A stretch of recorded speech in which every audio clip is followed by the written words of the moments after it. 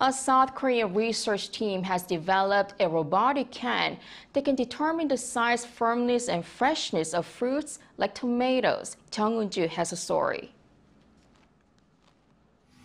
A tool resembling a hand called the gripper holds a tomato, then carefully lifts and moves it to another location without causing any damage.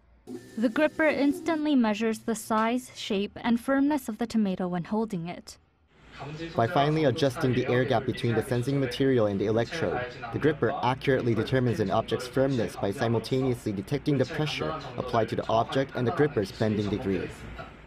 This intelligent gripper accurately distinguished 11 varieties of tomatoes with different sizes and properties, achieving a 98.78% accuracy rate. This means it can determine the ripeness of tomatoes in real-time sorting. The gripper functions stably even after more than 10,000 repetitive test runs under harsh conditions of low temperatures or high humidity.